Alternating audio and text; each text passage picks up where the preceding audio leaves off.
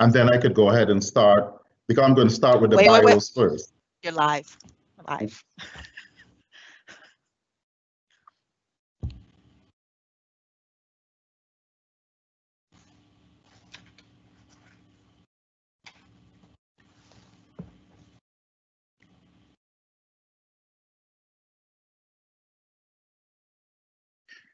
Ladies and gentlemen, um, good afternoon. Um, welcome to the Black Male Initiative Task Force um, second um, town hall. Um, thank you for joining us this um, afternoon. As you would have received in your announcement, this session, th these sessions would be will occur in two segments. The first is the live session which we are in, which will go until 2 p.m. And then following that, we will have the um, meeting where we will be hearing um, some um, critical feedback from you as well. I do want to apologize for one of our scheduled um, panelists, um, Dr. Um, Lopez uh, Matthews. He had an emergency, so he would not be able to join us this afternoon. But I'm pleased that the others are able to join us. And I first would like to um, introduce the four panelists who will be sharing with you this afternoon. Let me begin by introducing Dr. Um, John Hudgens, who is no stranger to most of us. And Dr. Hudgens has a unique set of integrated experiences in both public and private settings, effectively responding to institutional challenges in program design, higher educational leadership instruction, research, and human services administration. Dr. Hudgens received his PhD in sociology from Duke University, a Master's of Arts also in sociology from the University of North Carolina in Chapel Hill. And he also holds a certificate from Rusk College um, an administrative academy for the HBCU faculty and did additional studies at Shaw University Divinity School in Raleigh, North Carolina. Dr. Hudgens has had extensive leadership experience, which includes, but not limited to, being the co-director um, collaborative on a collaborative master's degree program in human services administration between Coppin State University and the University of Baltimore, and this has been in place since 1999. Served as the project director for Maryland Suicide Prevention, a sub-award between the University of Maryland, Baltimore, and Coppin State University, and he served as the, the, the chair of the Department of Applied Social and Political Sciences from 1993 to 2013, as well as the interim chairperson of the Department of Criminal Justice from 2003 to 2006. He also served as the executive coordinator at Hampton, Hampton University Black Family Institute from 1998 to 1993 as far as his instructional experience relative to Black males and Black families are concerned. Dr. Hudgens has presented on topics focusing on responding to the redefinition of gender roles in the global economy, um, a presentation he did in Barbados, a presentation on the strengths of Black families and well-being, the role of the Black church and Black, Black Black family solutions, the Black economy of Black male marginality, as well as the impact of Black male marginality on, the, on Black family survival and achievement within the system. So you see that Dr. Um, Hudgens has had extensive experience relative to the topic that we will be discussing. We're also pleased to have um, Professor Susan Fetchel. Professor Fetchel is the coordinator of clinical training in the Department of Psychology and Counseling and Behavioral Health. Professor Fetchel is a licensed clinical professional counselor a state board approved clinical supervisor, and a nationally certified approved clinical supervisor. She has more than 25 years of, experience in providing individual and family counseling in schools, nonprofits, and private practice, as well as providing supervision and consultation to other professionals and graduate student interns. She is a certified compassion fatigue educator and compassionate, compassion fatigue therapist. She holds a master's in pastoral counseling from Loyola University and is currently pursuing a PhD in counselor education and supervision. The third panelist I would like to introduce to you is Mr. Christopher Thomas. Mr. Thomas is the Assistant Director of the Center for Counseling and Student Development at Coppin State University. He received a Bachelor of Science degree from the illustrious Howard University and a Master's of Social Work degree from the University of Maryland at Baltimore. As a psychotherapist, committed to learning and professional growth, he is an active member of the Higher Education Case Manager Association and the American College of Counseling Association. Mr. Thomas is an active member of the psychotherapy community as a fellow and faculty member of the International Psychotherapy Institute, the Metro chapter. He has organized local and national conferences in various roles, including case presenter, discussant, and conference chair on topics related to slavery, Black boys, and trauma. Related conferences include the breadth and depth of slavery's wounds and Black boys in the eyes of the storm. Developing clinical and educational development tools that promote contextual understanding and resilience is a driving force in his work both on and off campus.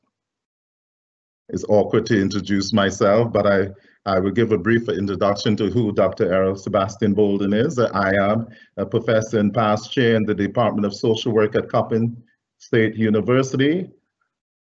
I serve as a senior part-time lecturer at the Cave Hill campus of the University of West Indies in Barbados and as a visiting um, professor at Addis Ababa University in Ethiopia, where I now uh, work primarily with doctoral students on their dissertation and research.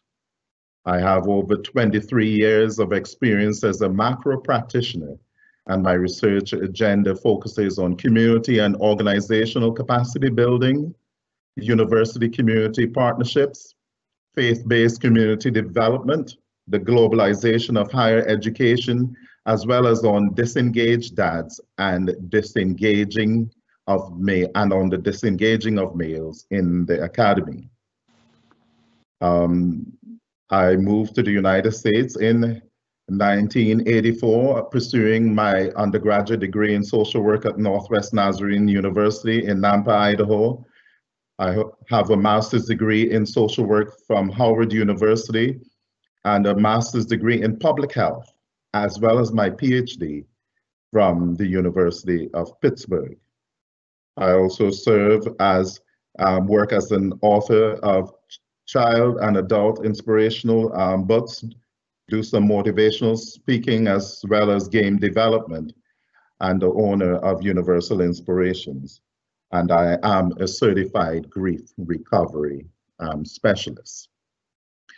So at this point in time, we're going to transition after you now have a good sense of who we are um, into some um, brief um, introduction. I'm sorry, some brief brief presentations, some four minute, minute presentations by each of the um, panelists.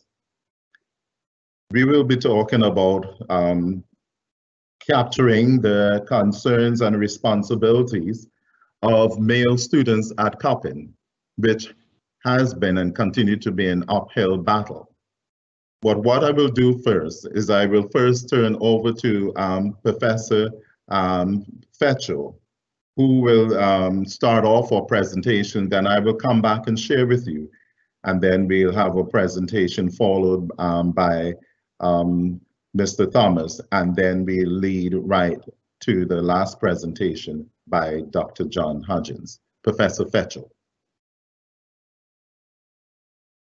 Thank you, Dr. Bolden. And good afternoon, everyone. First, I want to give you a few, just a very few statistics. Um, according to University System of Maryland's latest statistics, Coppin's gender breakdown is uh, roughly 77% female and 23% male. Um, and I know other other panelists are going to talk a bit more about that. Of the students awarded degrees in spring of 2019, we had about the same, about 23% male and 77% female. So although we are skewed in terms of gender, um, the male student success rate in terms of completion is um, is on target for the percentage that they represent. So, so that's good news. One observation that we might make from this information is that the our male students have chosen this minority serving institution and then they get here and turns out they are a clear minority here on campus. So a different type of minority, but a minority just the same. And as as faculty, we all see this in our classrooms. So we're we're certainly aware of of the numbers but do we do we really keep it in the front of our minds what it means to be uh, in the minority to that degree here at Coppin? And do we keep in mind what these students might need in order to feel supported and valued in this environment? And I, I think that's one of the things that we want to talk a bit about today. Almost 20 years ago, the Justice Policy Institute released a report that yielded a quote that I know we've all heard, and that is there are more Black males in prison than in college. Since that time, we've heard that quote many times from um, athletes, celebrities, you know, people who are social justice minded and, and well intended, um, even from then Senator Barack Obama uh, when he was running for president the first time. Um, I've certainly heard it. I know you've heard it as well, and I expect that our students have heard that, um, probably by some well-intentioned person who was trying to motivate them in some way.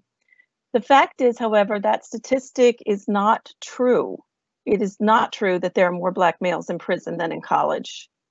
It's definitely not true now when the, the reality is there are over 600,000 more Black males in college than in prison. Say that again, over 600,000 more. Um, and it probably wasn't true in 2002 when it was first published either. And I think Dr. Hudgens is going to say more about um, skewed statistics and the way Black males are represented. Um, but if our students have heard that and they think it's true, and if they believe that we believe that about them, that's going to complicate the student faculty relationship.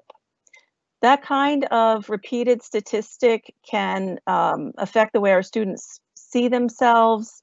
Um, and we have to be mindful not to let such disinformation color our own perspectives, our expectations, and our hopes for our students. One statistic I've encountered that I that I do think is worthy of consideration is regarding the trauma history of students. In 2013, a study of over 500,000 African American college students was conducted. It was both males and females. 74% of those students reported having experienced at least one traumatic event in their lives up to that point. And two thirds of them reported having experienced more than one, multiple traumatic events. The most frequently reported traumatic event was losing a loved one to violence in some form. The events reported by males in particular were things like experience some kind of life-threatening accident, being the victim of crime like a robbery, a mugging, an assault, being threatened with a weapon, being present when another person they knew was was killed or assaulted, and other experiencing um, serious injuries or, or perceived threat to their lives. So if we're encountering students who've experienced these kinds of life events, and there's a good chance that we are, and some of them may still be living in situations where there are threats like this still present, it's important for us to be trauma informed as educators and to know what kinds of supports we might be able to provide to help our students succeed. So I know we're all going to be talking a lot more about how to help our students succeed. Thank you.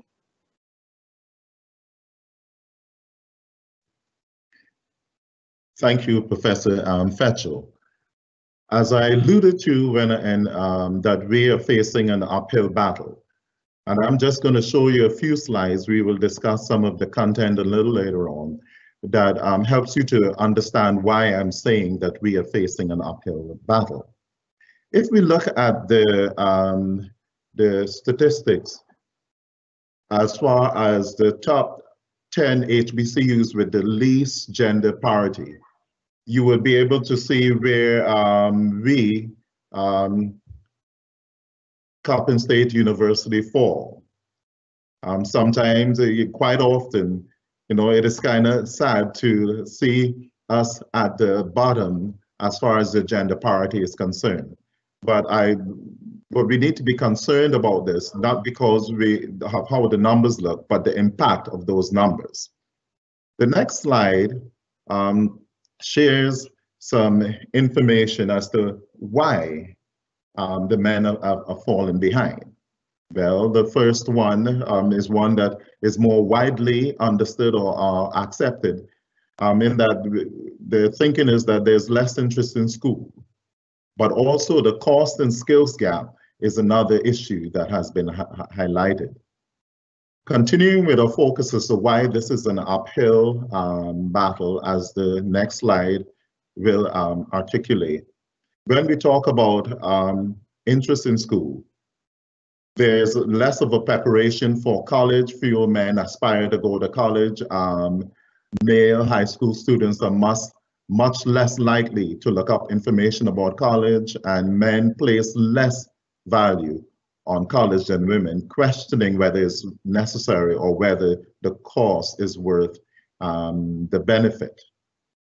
Next slide shows the um, the whole discussion about the money it costs to go to college. And you you may ask yourself, is it isn't it the same for um, men as it is for um, women? But you um, must also keep in mind that um, a high school graduate who is male um, would make significantly more in, in several cases than a high school graduate um, who is um, female. And so when you look at that cost and, and what they may make relative to the person who is in college, that also sometimes serves as a de deterrent. Some researchers have also suggested that college um, and education is simply geared more towards um, what they describe as quote unquote feminine um, traits. And we can talk a little bit more about that later. The next slide then introduces to some key concerns regarding the gender parity. When men graduate from um, college, they have a higher impact on the economy and lesser unemployment. So that's a, um, a key reason why we are, uh, again, pushing the whole notion of getting more males into the academy. There's greater gender parity with college enrollment um, can lead to financial trade-offs for men down the line. The educational disparity is bad for marriages. And there are a lot of texts that um, talk about the whole notion of women feeling that they have to marry down, right? Because the men are not as, as educated as they are. And quite often that increases the likelihood of the uh, marriage ending in divorce. Um, this other one, and I highlighted this um, in particular, um, because it is something that we, I don't think, always pay close attention to, but we need to be mindful um, of. And when I was doing my research, the study pointed out that the gender imbalance um, at HBCU, which has been published in the Journal of AIDS Care in 2006, found that primary consequences of this gender racial imbalance were men having multiple female sexual partners during the same period and women um, are more likely complying with men's um, condom use um, preference, which is no condom use, um, because the, um, the pool is not very um, big. The gender parity can also enhance an institution's ability to offer a wider range of athletic um, programs. And the last one I want to highlight is that the path to um, college gender gaps begins before college. And that is something that um, really reminds us that our efforts um, should not um, start at college, but prior to college. Thank you. Let's um, transition on now to the presentation from Mr. Chris Thomas. Hi, good afternoon. So I'm going to make a few uh, comments about kind of my lens in the counseling center and kind of uh, the um, issues that are confronting our males on on campus and some strategies that we can use in response to that. So one thing that we have to remember is uh, is is that is that it's important to kind of shift right to reframe some of the um, experiences that our students have overcome. Um, so Dr. Jawanza Kunjufu, um, a number of years ago, um, did some research and wrote a book called Conspiracy to Destroy Black Boys, where he talked about the shift that happens in third grade, where uh, black boys become begin to be, be tracked in essence, right? And so he talked about the absence of, uh, of, of male teachers and the prevalence of black males to be in special ed. And so the students who, are, who have arrived here on campus have encountered a lot. And I think it's important to remember that and also make a shift to reframe that uh, from uh, a little less of a deficit model and more towards a strength model. Being here on campus, registering, signing up, showing up is important. And so we need to remember that students have overcome a lot and use that as a strength to continue to overcome the other challenges that will uh, be placed in, in front of them as they matriculate throughout throughout uh, the throughout school. It's also important to remember um, our, role and our purpose, right? And so if we can see students through that lens, if we can see students, um, see a little bit of ourselves in our students, uh, and create that uh, that humbleness. I think you know that reminds us of, of our purpose here on an HBCU.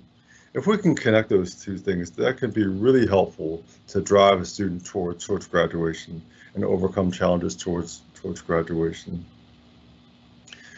The other um, point that I want to make is about checking in, checking in. And so being able to check in on a regular basis, letting a student know that, that you see yourself in them, they're here for a reason. There's a purpose. There's an end goal. That sort of checking in process can be really helpful. It can be helpful during projects big and small. It can be helpful from semester to semester, from class to class. That sort of checking in process can be can be a, a, a life saving for, for students. It can make the difference of graduating and not graduating. Checking with students who who may disappear for what have you, whatever reason, you know letting know know that they matter, that they're here for a reason is critically important. Developing, uh, helping students develop a sense of self-efficacy, right, is also pretty important. They they have the ability, right, and because they have the ability, we set certain expectations. We set certain expectations knowing that they can and will produce. And so that's what we expect is them to produce building that up is, is incredibly important for, for students who may be uh, faced with challenges that are different. College is different, expectations are different, um, adjusting to lots of unknowns is different. So building that self-efficacy is, is incredibly, incredibly important. Integrating the the revel the relevance of school in a growth mindset kind of point of view is also pretty important, right? Um, their effort is what's going to to make the difference, right? Um, it's not about someone being kind of born with some sort of magical kind of uh, intellectual ability, but it's their effort that will produce the difference, and therefore they can always um, they can always put forth effort to do to do well in school. It's these sorts of things that I think will make an incredible difference in the uh, in the in the college life of our of our black male students. So I want to highlight those today, and we'll continue to talk about these and other factors in the remainder of the presentation. So thank you. Thank you, um, Mr. Um, Thomas. Um, now we will transition on to the presentation from Dr. John Hudgens. Dr. Hudgens. Good afternoon. I'm very happy to be here and to talk about this topic. It's one that's very dear to my heart. And fortunately, we have had some effort at Coppin for the last almost 20 years trying to address that concern. We've kind of been up and down, but basically we've had some attention to the issue. I want to talk a little bit about faculty-student relationships, and uh, hopefully I won't get, hopefully I won't be too redundant, and maybe we'll come back to some of the issues. Uh, the first challenge would be the two myths that Professor Fetcho mentioned, uh, and I just wanted to add to that. The current numbers, or at least the numbers that Mr. Toast, Dr. Tolson is giving now, it's of 2013, there were 1.4 million black men in college compared to about 840,000 black men uh, in prison. And as you know, there have been some efforts to reduce the prison numbers. So hopefully that number looks better and hopefully the college numbers have gone up. The other one is the myth, and it's not really a myth, it's the perception at Coppin that there are more women involved in higher education than black men. So therefore we tend to look at the black male as kind of a rarity. Well, as Dr. Bolden kind of pointed out, uh, Coppin is at the top of the list. I just want to share with you a couple of other numbers though. Uh, when we look at our sister institutions, however, 38% of the students at Bowie are male, 42% at UMES are male, and just about 42% at Morgan are male. When you look at the USM as a whole, and these numbers are critical, 10% of the enrollment in the whole United U University System of Maryland, uh, University System of Maryland, 10% of those are black men, compared with 14% black females. Again, the numbers are very close. The overall enrollment, this is black, white, and everything else in USM, 48% are male and 52% are females. So it suggests that the imbalance we see at Coppin is a serious one, but it does not represent the national, even a statewide picture. When you look nationally in 2018, 33% of black males ages 18 to 24 were enrolled in post-secondary education compared with 41% of black females. So again, nationally, we're looking at some level of parity. Now, there are a lot of variations in that, but I think the point here is to help our young men not feel like somehow they are some rare breed.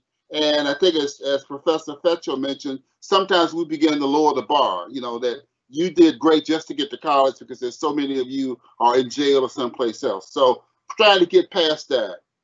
Uh, the next point I want to make is to talk about the impact of for us and for many other campuses as well, the impact of, of young males being outnumbered in the classroom. Uh, the first thing we get is something that Elijah Anderson called many years ago the cool pose. And if you notice, like I do, they have a tendency to be quiet. They have a tendency to, to a tendency to kind of look like they know what's going on, when in many cases they don't. They avoid the conversations or the discussions, and sometimes you have to pull them in. Well, Anderson pointed out that's kind of a black male defense me mechanism. If you stay quiet and look tough, people assume you're tough and that you are in charge. And when in reality, you may well not be. And I suspect in the case of many of our students, they're not. But there's this pose that the real man is this silent, strong individual. And that's not just unique to Black folk, but it kind of is uh, overemphasized in many cases in our society and to our detriment. Uh, I often say to our young students that when white males are quiet, we assume that they know what's going on and they're otherwise uh, distracted. When black males are quiet, we assume they don't know what's going on, and therefore it's to their advantage to begin speaking up and be heard. The other, the next uh, concern in classroom is instructor relationships. Very often, students will say to me, especially, "You remind me of my father," and I think the issue here is that we have to be careful that we separate instructor roles from parental roles. Uh, it's good to be reminded of the father, to be reminded of the mother, assuming that the relationship between the father and the mother was a good one.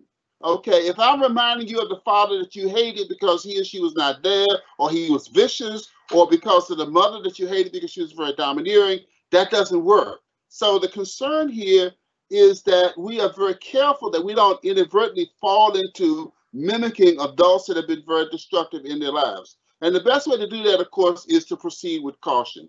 If there is a student who embraces your kind of motherly or fatherly role and that's productive for that student, fine.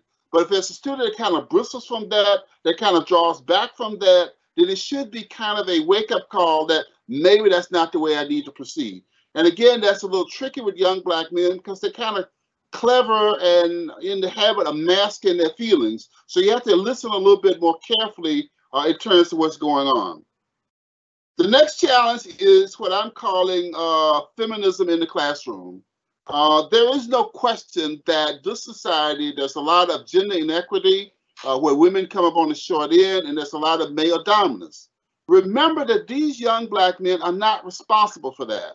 You know, they are in many ways sometimes not even aware of it.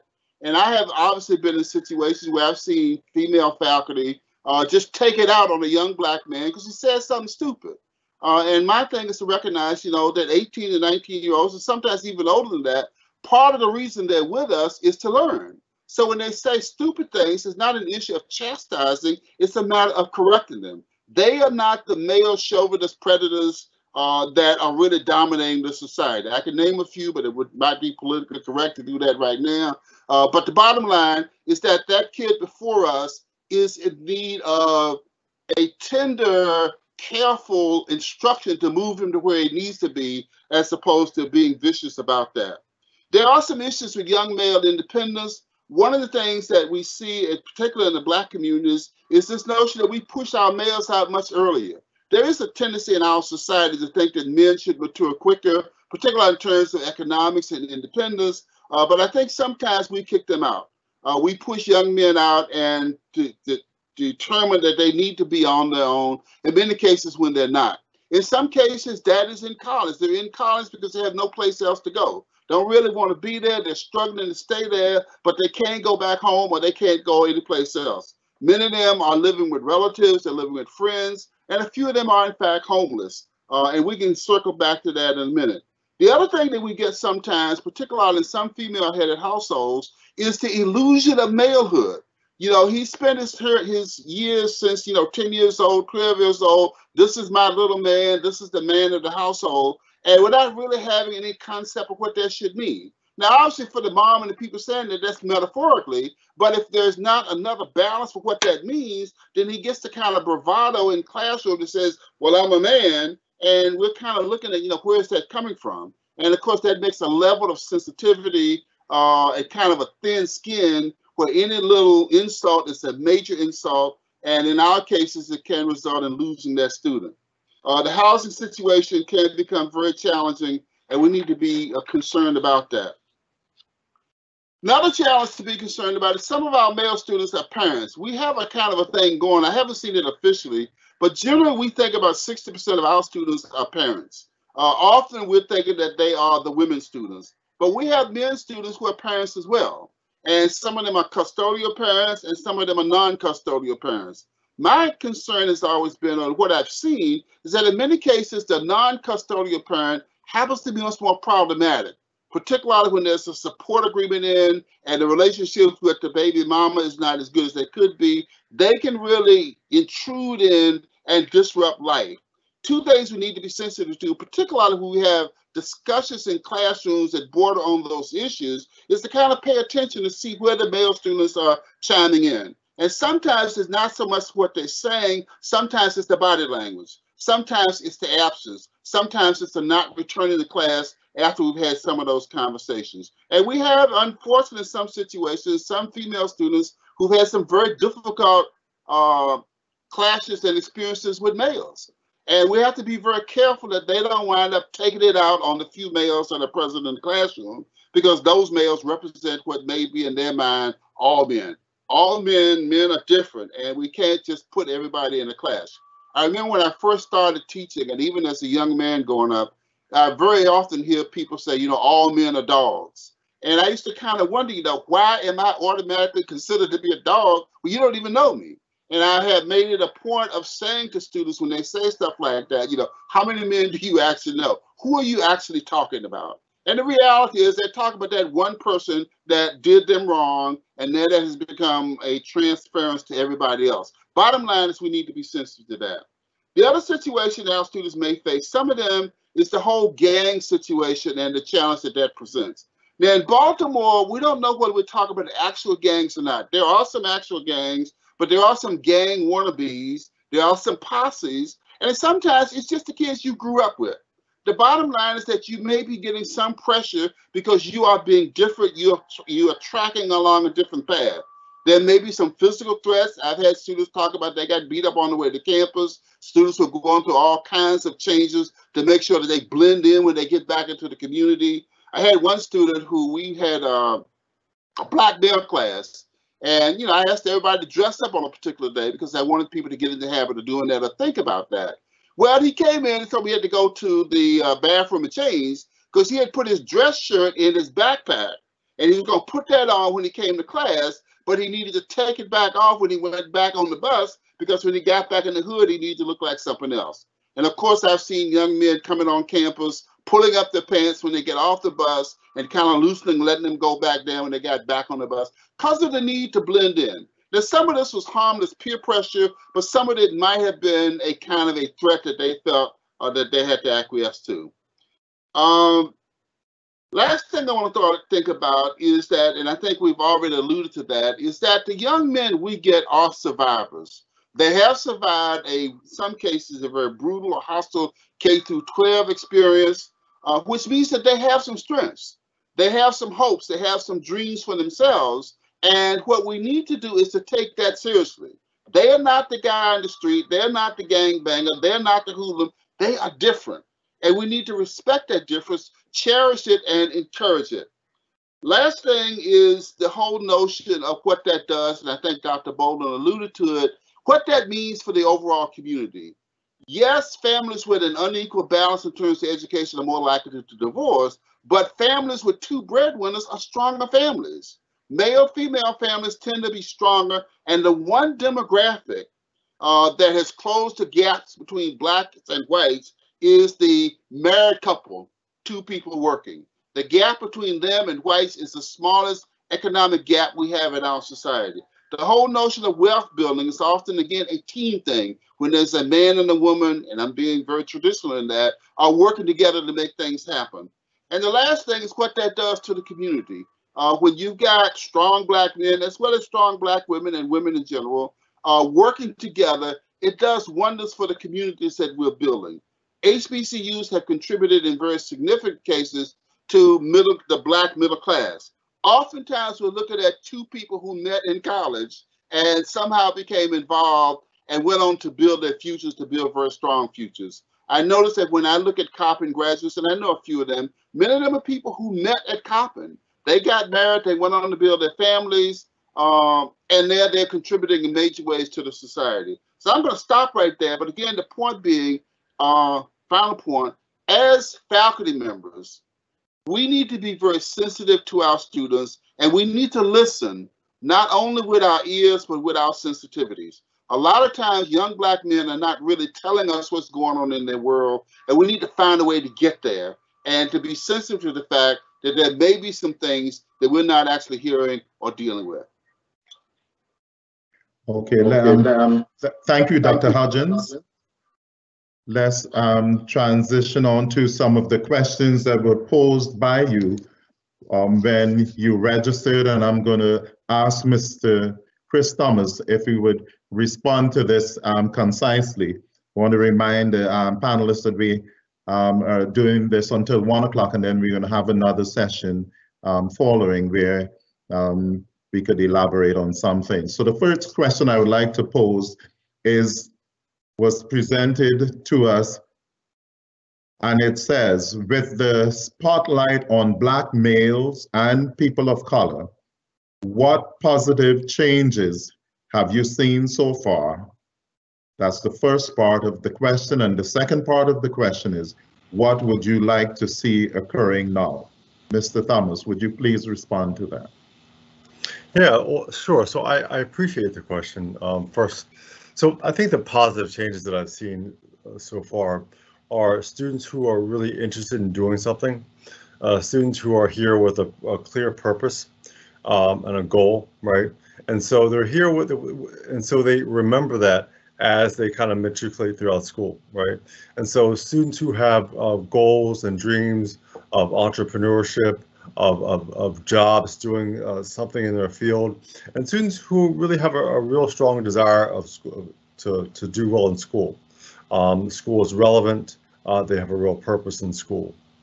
Um, the, the, second part of that question was about, the second part of that question? Um, what, what would you like to see occurring now? Yeah, yeah.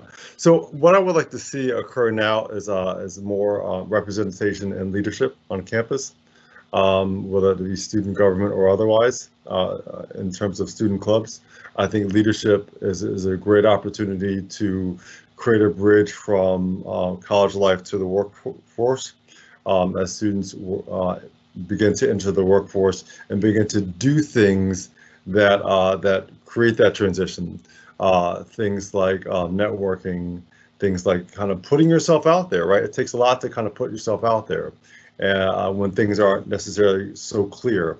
Um, and so putting yourself out there to kind of figure things out, uh, building up that uh, that sense of uh, um, accomplishment, I think is a, is a, is a great um, factor that's kind of part of leadership, I think, on campus and will transition into the into the workforce.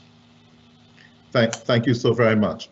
Another question that's um, posed that I would first ask um, Professor Fetchko to respond to is how can faculty and staff best support Black males at um, enrolled at Coppin? And then I'll ask um, Dr. Hudgens if he can give a brief response to that as well.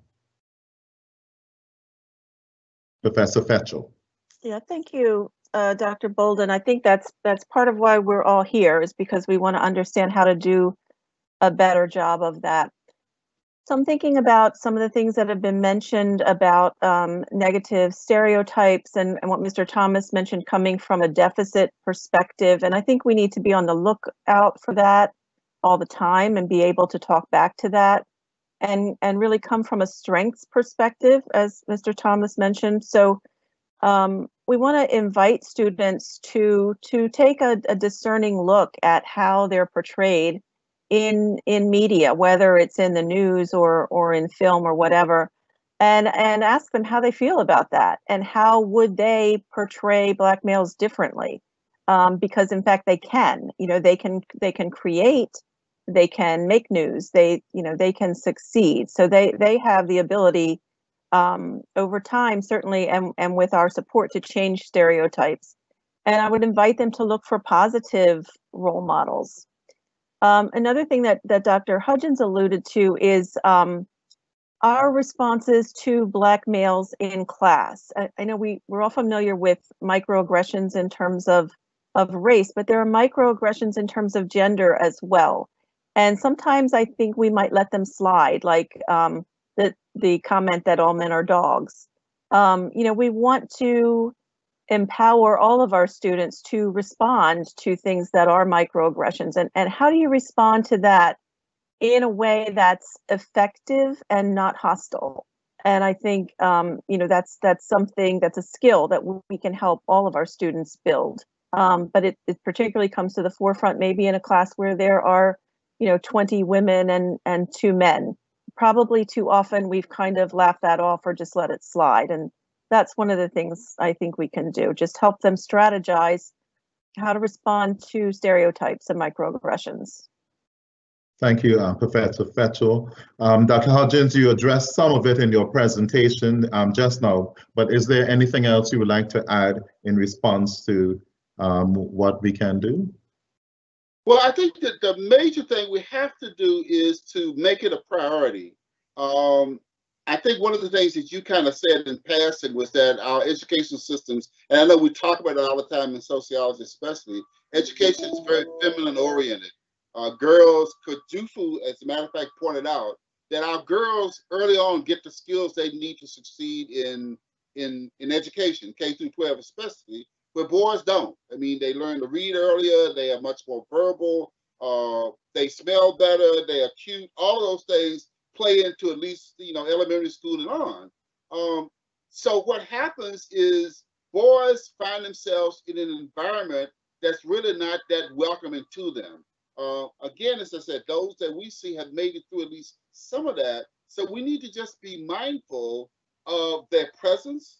We need to be really concerned about them in the future, and we need to find ways to say it and show that. Uh, I think the critical thing is that because girls tend to be very adept at this environment, they become easy. I mean, when girls need help, they're taught to ask for it. You know, Dr. Hudgens, I don't understand this. This paper don't make no sense. Boys are taught, or at least not taught that, and they wind up being quiet. You know, I remember having a kid, I think when I was at Hampton, might have been earlier. I wonder why he kept taking the same class and failing the class. And I would reach out to him, please come in and talk with me about it. Things that are going on. I had a lot of things I wanted him to do in terms of changing his papers and all that. He never would come in. Eventually he would, he dropped the class. But the point is somewhere along the way, help seeking was not a part of what he needed to do. So we need to be mindful of that, find a way to show it, and I think be very cognizant of the nonverbals. Right. In in a book that I think I would like us to discuss at some point in time on campus, because the title is very provocative. It's called uh, the um, End of Men, and one of the things that the authors advance is that um, the reason why so many men are falling behind is that women are simply more adaptable, uh, whether by nature or because of flexibilities they're allowed by cultural norms. And I think um, you spoke to some of that in your um, in your comments. But another question that was um, posed that I'm going to um, come back to you, um, Mr. Thomas, to address is how do we build self-efficacy um, of our students? How do we build that? Yeah, I appreciate that. So self-efficacy is really important, obviously, in college and just kind of in general, right? So coming to an environment where things are new, um, policies, procedures are new, um, bureaucracy is new, uh, relationships are new inside the classroom, outside outside the classroom. So there's a lot kind of going on, along with and on top of um, academic right uh, academic um, you know requirements. So there's a lot to adjust to. There's a lot to feel uncomfortable about, frankly, you know. And so this is a, an incredible important skill um, to, to, to, to, to, to hone, to get good at. And so I think one strategy to, to do that um, is to, to balance, I think, two things that are important. To balance push and encourage, push and encourage. I think men want to do well. They, they, they want to feel this, you know, tough.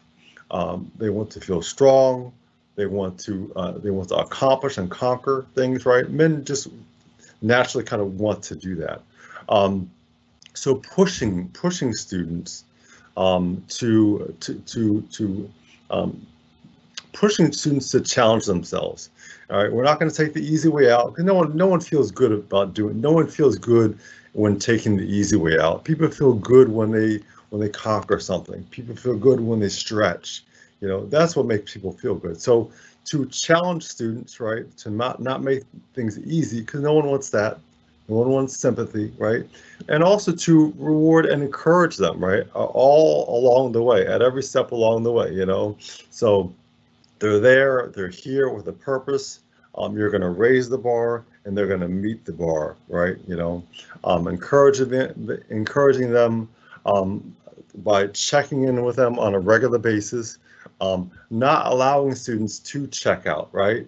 Um, sometimes uh, we get in the habit of kind of ignoring students, frankly. Um, a student is, is in class and they're really not focused and really have other things that they would like to be doing with their time. And sometimes we kind of let them do other things with their time, you know, and and we and we engage in this in the silent in the silent um, uh, conspiracy, which says, I won't bother you if you won't bother me, right? You don't act up and I won't bother you. So this is like silent conspiracy, you know, which which at the end isn't helpful, right? And so um, so and, and that's another way to uh, to challenge a student, I think, to to be quote in their face, you know, and also to encourage them along the way. So balancing pushing and encouraging, I think, is a great way to build uh, to build self-efficacy. And continuing, um, I'm going to ask you to also respond to this other um, question that was posed what are some effective engagement strategies that can be used to foster healthy interactions um, with Black males at CSU? And I, I, I, I, know we are largely focusing on the, um, the faculty, but if you see anything interaction with the faculty, if you see anything as far as um, in your work or from your experience that would um, be a good strategy to adopt, not only for the interaction with the faculty, but also with the staff. Because keep in mind that um, a lot of the, um, the students um, complain about some of the challenges that they encounter um, with staff. And so this session was only was also to include staff. So speak to um, to that as well. Yeah, so engagement is, is, is incredibly important, right? Because it answers the question about why is this relevant, right? It answers the relevance of school question, right? Which is incredibly important when you look at persistence, persistence towards, towards graduation. And that question is answered by both faculty and staff, right? So I think it's it's um it, it doesn't really make sense really to to to look at it from from one particular lens because the truth are there are lots of relationships across campus faculty and staff and otherwise right? And so um and so they all need to be healthy engaging relationships right? Um so I, I think the idea of, of mattering i think on campus is also important uh, in response to this question.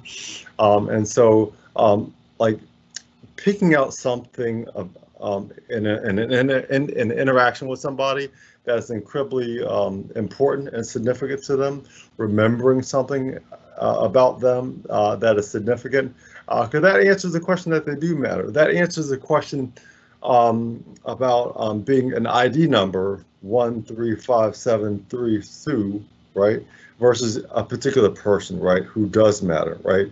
And I think, um, um, you know, seeing people across campus, you know, um, uh, engaging them in, in line at, at Subway, you know, um, uh, or otherwise is, is incredibly important. Um, asking them questions about what they're doing, why they're here, what they, they want to do, you know, to, to encourage them to start that networking process um, early from, from day one. Um, I think eating lunch, something as simple as eating lunch with a student, you know, uh, is also incredibly engaging. Again, you matter. I'm singling out you. You uh, you are important. You're significant, right? Um, and it also starts that relationship process, which is, like I said, is incredibly important. So some, you know, kind of simple strategies to start that engagement process. Yes, let me go, um, Professor Fetchel, I'm coming to you, and this is not a, um, this is a question from someone who just sent it in this morning, but um, I'd like to pose this question um, to you and ask also Dr. Hudgens if he can chime in on, on this. The question is, what are some of the ways that we can bridge the communication gaps between Black males and those who love them in an effort to support collective and forward movement? Let me repeat it. What are some of the ways that we can bridge the communication gap between Black males and those who love them in an effort to support collective and forward movement. Professor Fetchel. Thank you, Dr. Bolden. That is a challenging question. I think the first, probably the first thing that comes to mind is with their families. But but in this setting, I think you know those who love them are those who are gathered here today and and in our audience.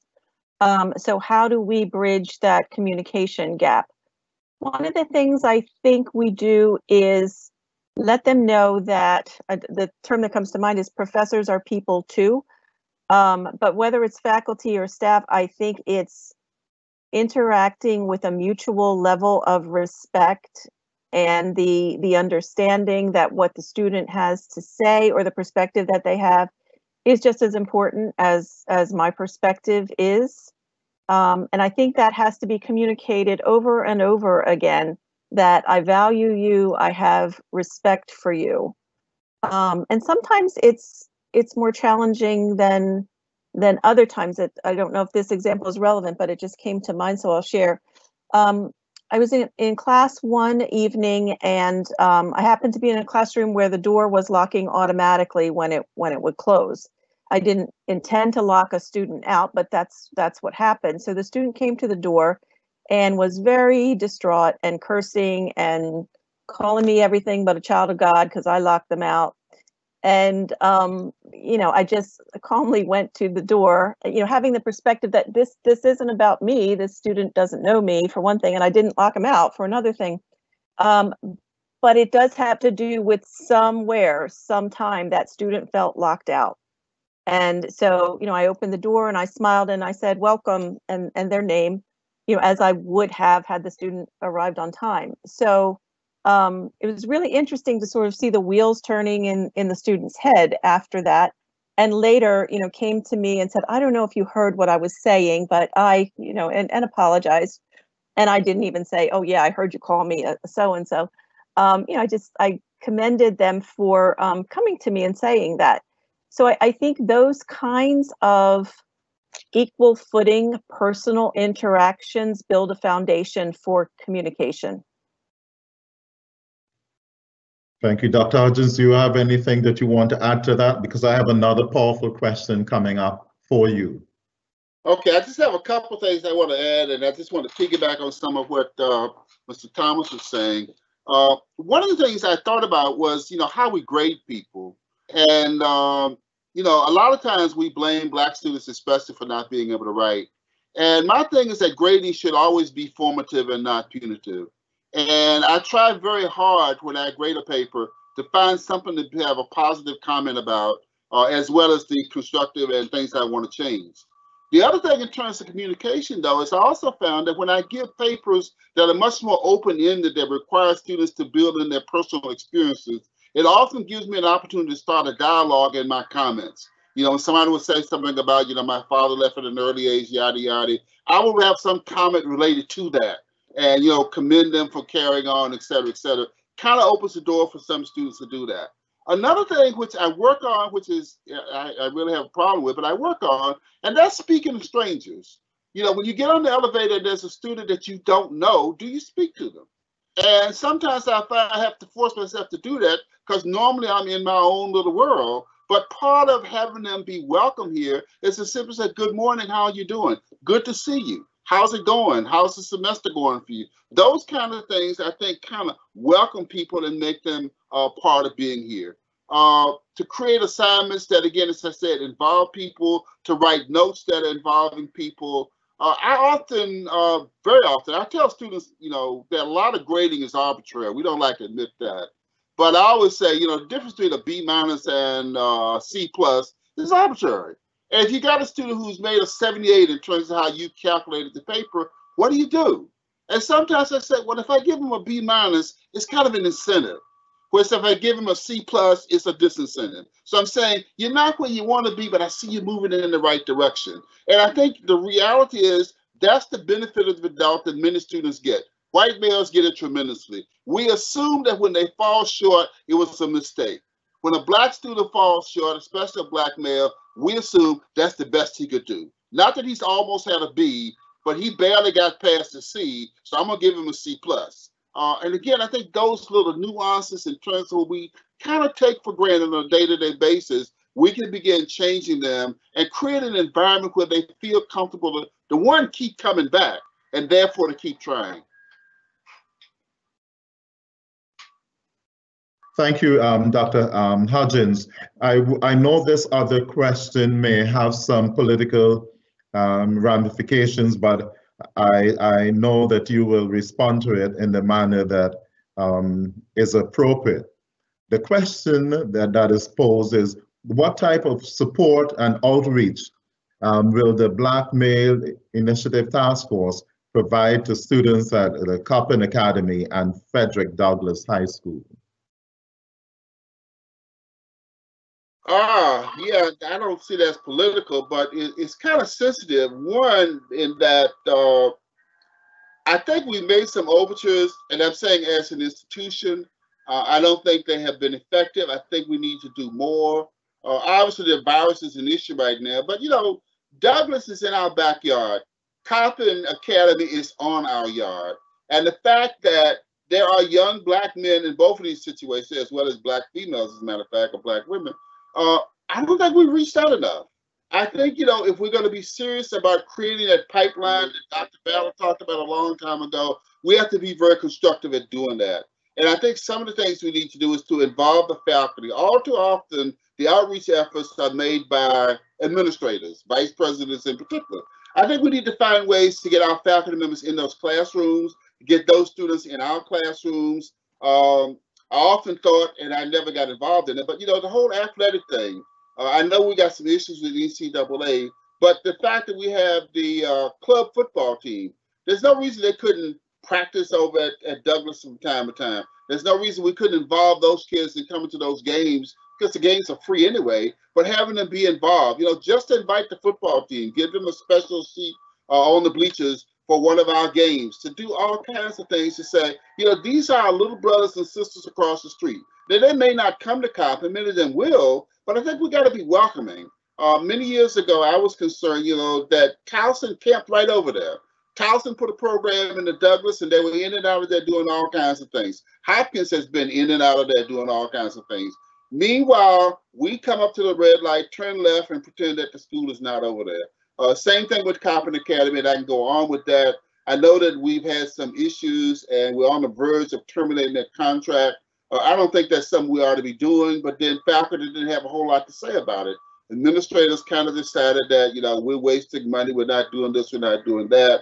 Uh, again, I think it's a golden opportunity, and we just need to sit down and find ways uh, to be very proactive. You know, we say we want black students, we say we want black males, but really we're not doing anything special to get them. Uh, and we just have to be concerned about doing that. Um, thank you. I'm just going to give some um, closing comments because we have to be prepared to transition on, um, to the next um, segment. But responding to some questions as far as what um, we as a task force um, will be doing this year. As mentioned during university week, I should say, um, our goal is to, in the spring, to introduce the uh, Black Experience course that has been developed by the task force. Um, we will continue our discussions that we have started with our sister institutions, the sister HBCUs, towards the um, uh, Black Male Conference. The task force will continue to provide trainings and, and workshops to increase the awareness um, as far as a lot of these issues are concerned. And I know we didn't talk um, a whole uh, any really about COVID-19 in this segment, but maybe we'll bring it up in the next um, segment because we are hearing some disturbing um, statistics as it relates to even more disturbing statistics as relates to COVID-19 and our black males. We would be developing a repository and we'll be focusing on resource development. Those are a number of things. We will be sending out um, correspondences to the um, faculty, um, letting you know about specific ways that you can get um, involved because we do welcome um, your support. We welcome the involvement of students, both males and females, um, as we not only as we fo focus on reconvening the Coppin uh, man, but even to work with us on the task force, because one of our goals is to build um, student leadership and providing these opportunities um, would be a way to contribute um, to student leadership. There have been, um, there are some other questions that I think we will um, get to in the other um, segment. And remember that we have the second segment because we want to hear from you. Yes, each of the panelists have some um, expertise as far as the subject matter is concerned. But we are very much aware that you as faculty and staff also have expertise that's quite relevant to what we're doing. And so um, we are about to end this live segment. And as we end this live segment, we ask you to, um, to go and you would have received the invitation to join the Teams meeting. And so you'd have to close out of this live um, session and sign in under the Teams meeting. And so during that session, the focus would be more interactive. Ladies and gentlemen, in the event that you would not be joining us for the next segment, I want to thank you for registering. I want to thank you for your um, questions and your ongoing support of the task force. I look forward to seeing you as we signed off now in the other segment where we will hear from you. I thank you.